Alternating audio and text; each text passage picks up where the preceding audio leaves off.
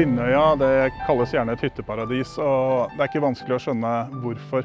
Her er det stille og rolig med masse småhytter.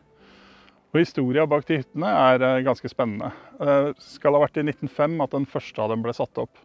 Og det skjedde ikke etter noe reguleringsplan og tomtekjøp eh, eller noe sånt noe. Nei, det var rett og slett folk som dro ut hit med plank, og så snekra de seg provisoriske hytter. Så eh, sprang det opp mer og mer hytter, og etter hvert så ble de faste. Og så ble Lindøya sammen med Nakkholmen og Bleikøya de store hytteøyene i Indre Oslofjord.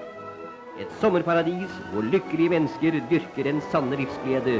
Overalt ånder skjønnhet og harmoni.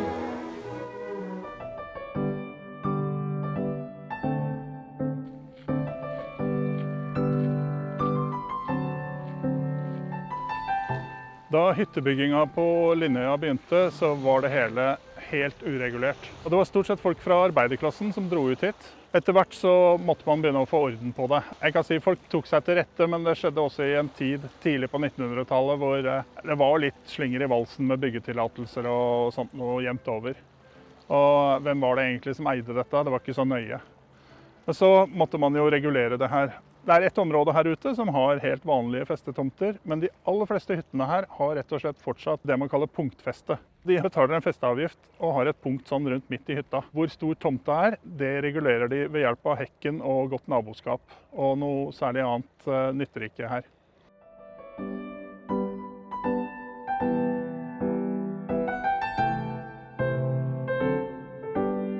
Dette veldig spesielle miljøet med eh, arbeiderklassehistorie, med hyttehistorie, med en aktiv velforening, har faktisk oppnådd å bli et eh, freda bygningsmiljø. I 2018 så bestemte man at dette skal vernes, fordi det er en viktig del av vår felles historie. Og ikke minst eh, et eh, spennende stykke arbeiderhistorie langt vekk fra fabrikkene og trauste arbeiderboliger inne i byen.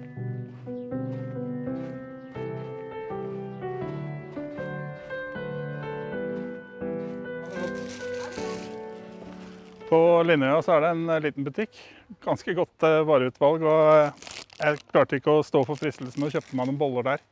I tillegg til butikken så har de faktisk strøm og vann her. Ikke alle har innlagt vann i hytta riktignok, men noe av det spennende med det er at det ble lagt inn på dugnad. I 50-60-åra så tok Linnøya vel og fikk vannledning og strømopplegg her rett og slett som en dugnadsjobb. Forhåpentligvis med noen eh, elektrikere og rørleggere med på laget. Det ser ut til å ha gått bra, i hvert fall.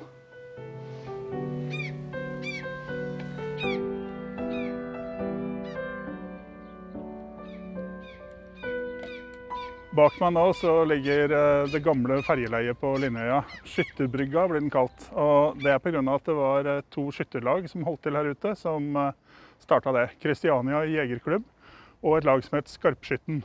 Her var det skytebane lenge. Også etter at man begynte å bygge hytter her, så plaffa de løs eh, i landskapet her. Det var også her det opprinnelig skulle være flyvehavn i Oslo. Og så, 1926, så fant de ut at nei, de eh, skulle heller legge det på Gressholmen, eh, som ikke hadde samme mengde hyttebebyggelse, og som kanskje var mer egna på andre måter. Og så endte da Oslo flyvehavn der isteden. Og de to tinga der, nedleggelsen av skytebanen og at det aldri ble flyvehavn her, det bidro vel også til eh, at dette virkelig ble et hytteparadis. Da.